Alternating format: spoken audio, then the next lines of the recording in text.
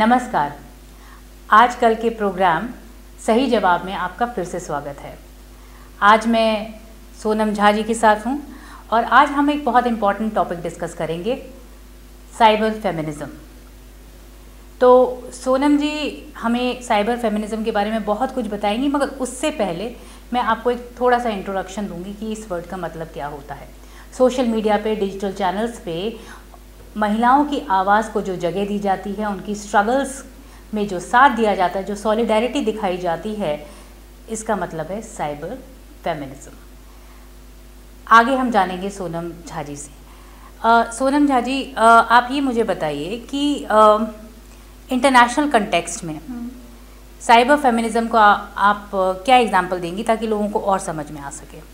International context में अगर हम बात करें तो रिसेंट आपके पास एक एग्जांपल है जो हमारा ईरान का इश्यूज़ चल रहा है जहाँ पे महिलाएँ सड़कों पे निकल के अपने हिजाब निकाल के बाहर फेंक रही हैं वो अपने हम्म। बाल काट रही हैं क्योंकि इस्लाम में उनके बाल को कवर करने के लिए कुछ नॉर्म्स है उनका कि किसी कोई भी पुरुष जो है दूसरा पुरुष उनके केश उनके बाल ना देखे हम्म। उसको वो काट के फेंक रही हैं वो अपना हिजाब फेंक रही हैं और इस मूवमेंट के लिए जो उनको सबसे बड़ा स्पेस दिया है वो दिया है सोशल मीडिया ने सोशल मीडिया के थ्रू वो ग्रुप बना रही हैं हैं, वो अपनी बातें कह रही हैं। और इससे पहले अभी जो हम एग्जाम्पल्स देखते हैं वेस्ट एशिया और नॉर्थ अफ्रीका का रीज़न जहाँ पे authoritarian kind of the government रही है वहाँ पे अधिकारों को महिलाओं के अधिकारों को दबाया गया है वहाँ पे।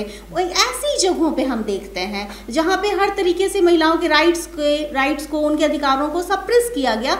ऐसी जगहों पे सोशल मीडिया ने महिलाओं को एक जगह दी जहाँ पे वो सॉलिडारिटी के साथ एक साथ मिल के किसी मुद्दे पे अपनी आवाज़ उठा सकें। अरब स्प्रिंग जो हुआ जिसकी शुरुआत 2010 से 2012 तक चली उसमें महिलाओं ने वो वेस्ट एशिया का जो इलाका है जो नॉर्थ अफ्रीका का इलाका है वहाँ की महिलाओं ने आ, अपनी एक यूनिटी दिखाई सोशल मीडिया के थ्रू अभी रिसेंट जो हम ईरान का मुद्दा देख रहे हैं इसके अलावा हम अपने देश के स्तर पर भी आप बात करेंगे तो बहुत सारे एग्ज़ाम्पल हैं जहाँ पे महिलाओं ने सोशल मीडिया के थ्रू अपनी बातें बात कही है। अभी हमारा जो 2012 का जो इंसिडेंट हुआ था निर्भया इंसिडेंट जो हुआ था उस समय में ये घटना पूरे देश में फैल गई। जंगल की आग की तरह पूरी ऐसी घटनाएँ इससे पहले भी हुई हैं उसके बाद भी हुई बट एक उस मोमेंट ने वो, जो एक घटना हुई थी उस घटना के थ्रू जो एक मोमेंट निकला जो जिसका आगाज़ हुआ। उसमें महिलाओं को लेकर डिफरेंट योजनाएँ बनाई गई लोगों में एक जागरूकता का जो प्रसार हुआ उन सारी चीज़ों में सोशल मीडिया की बहुत पूर्ण बहुत बहुत ही ज़्यादा महत्वपूर्ण भूमिका बिल्कुल बिल्कुल। तो आपकी जानकारी के लिए बता दें कि ईरान में चल रहे मूवमेंट में का जो हैशटैग है वो है no for forced veiling veil मतलब हिजाब। ज़बरदस्ती के हिजाब को ना कहिए। तो ऑफकोर्स हम लोग इसके साथ हैं। चलिए अब हैशटैग की बात हुई है। हम्म। तो आ, पहले भी क्या ऐसा हो चुका है? जहाँ तक मैं जानती हूँ कि me too hashtag me too movement चला था। जी, जी. तो इसके बारे में थोड़ी सी बात करते हैं। जी बिल्कुल। मी टू को लेके अभी 2018 से इसमें इस, इस चीज़ का जो इसकी जो शुरुआत हुई मी टू मोमेंट की और उस मी टू को लेके उस पर जो सोशल मीडिया पे साइट साइट्स पे जो हम तमाम महिलाएँ हैं जिनका सरोकार है किताबों से सरोकार है किसी मीडिया के सेक्टर से उन जिनका जुड़ाव है तो उन तमाम महिलाओं ने खुल के आगे आके लिखा है हैश टैग मी टू तो इसका बहुत क्रिटिसिज्म भी निकला। तो मी टू में है कि हम सब ऐसे लोग ऐसी महिलाएँ या लड़कियाँ जो कभी ना कभी अपनी ज़िंदगी में एब्यूज़ का शिकार हुई हैं। तो अगर हम अपने आसपास ही बात करते हैं राजू जी तो हम देखते हैं कि शायद ही कोई एक ऐसी लड़की या महिला होगी जो कभी एब्यूज़ की शिकार ना हुई हो। सड़क चलते बस में चलते हुए ट्रेन में सफ़र करते हुए कहीं हर एक मतलब सार्वजनिक स्थल से लेके चार दीवारी के अंदर तक ये घटनाएँ चलती रहती हैं जहाँ महिलाएँ अब्यूज़ का शिकार होती हैं। मी टू मोमेंट ने उन तमाम महिलाओं को बिना कुछ ज़्यादा कहे हुए एक आवाज़ दी कि हम सब मेजॉरिटी में, या कहें कि एक्सेप्शनल ही कोई ऐसी महिला होगी जो इसकी शिकार नहीं हुई होगी। हम सब इस मीटू के शिकार हैं। जी। इसके साथ एक कंट्रोवर्सी भी जुड़ी रही मीटू के साथ कि कई लोगों ने ये प्रश्न पूछा कि अभी क्यों आवाज़ आपको उठानी है? जब आपने पहले क्यों नहीं उठाई जब ये आपके साथ हुआ था?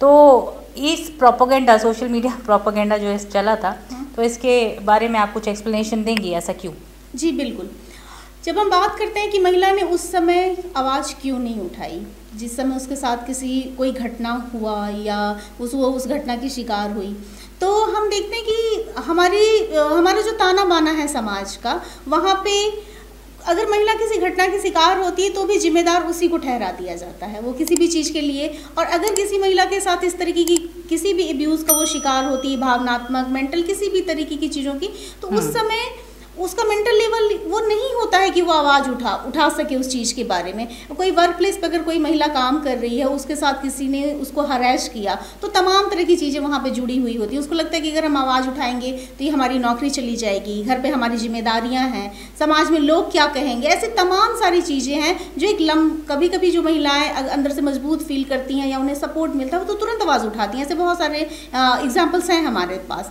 लेकिन कई बार ये होता है कि ये डिसीज़न लेने में महिलाओं को एक लंबा समय लग जाता है। तो ऐसे में उनको हतोत्साहित करके उस समय आपने क्यों नहीं बोला उस समय आपने आवाज़ क्यों नहीं उठाई उसके इन इसको क्रिटिसाइज करने के अलावा एटलीस्ट हम महिलाओं की ज़िम्मेदारी है कि हमारे बीच की कोई महिला अगर इस तरीके की चीज़ों को लेकर आगे आती है तो हम उन्हें सपोर्ट करें।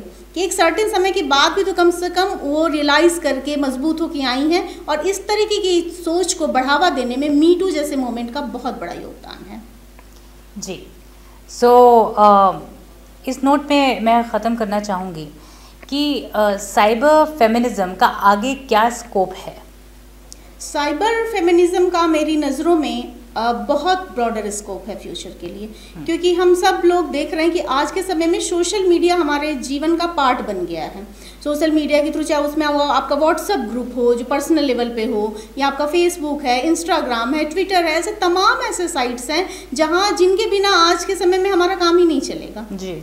उससे हम जुड़े हुए हैं। और इन ऐसी जगहों पे जहाँ पे आ, मतलब एक डर नहीं है हमारे अंदर कि इन सोशल मीडिया के थ्रू हम अपनी बात लिख रहे हैं अपनी बात तमाम ऐसे फेमिनिस्ट राइटर हैं जो या सोशल इशूज़ पे लिखने वाली महिलाएँ हैं जो शायद अपने घर में चार दीवारी में या जहाँ वो काम कर रही हैं या हमारे समाज का जो स्ट्रक्चर है वहाँ पर जो बातें वो नहीं कह पाती थी वहाँ पर हम खुल के लिख रहे हैं अपनी बातें कह रही हैं हमारी बातें साझा होती हैं एक दूसरे के साथ और विचारों को जो आदान प्रदान होता है इसके नाते अगर मैं मैं देखती हूँ और जहाँ तक मेरा सम, मेरी समझ है इस रिगार्डिंग में तो सोशल मीडिया का स्कोप बहुत ब्रॉडर है और महिलाओं के हित के लिए। सोशल मीडिया एक महत्वपूर्ण घटक के रूप में काम कर रहा है। सही कह रही हैं आप। तो यहाँ हमने जाना कि साइबर फेमिनिज्म क्या है और इसका आगे स्कोप क्या है। मैं ये कहना चाहूँगी अपनी तरफ़ से कि हम सभी महिलाओं को इस प्लेटफॉर्म का सोशल मीडिया प्लेटफॉर्म का आप इस्तेमाल करना चाहिए उपयोग करना चाहिए अपनी आवाज़ उठाने के लिए क्योंकि आ, आप बोलेंगे तभी लोगों को पता चलेगा लोगों को पता चलेगा तभी कोई चेंज आएगा। सो so, इसी के साथ हम इजाज़त लेना चाहेंगे। आ, देखते रहिए आजकल न्यूज़ सब्सक्राइब करिए शेयर करिए लाइक करिए फिर मिलेंगे सही जवाब के साथ। बहुत बहुत धन्यवाद।